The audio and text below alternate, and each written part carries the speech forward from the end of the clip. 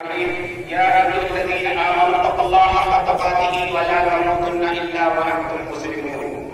وقال الله سبحانه وتعالى ومن يتق الله يجعل له مخرجا ويرزقه من حيث لا يحتسب.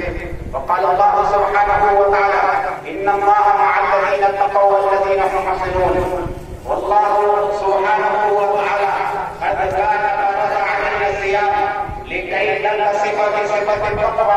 كما قال الله سبحانه وتعالى كتابه أعوذ بالله من الشيطان الرجيم. يا أيها الذين آمنوا كتب عليكم الصيام كما كتب على الذين من قبلكم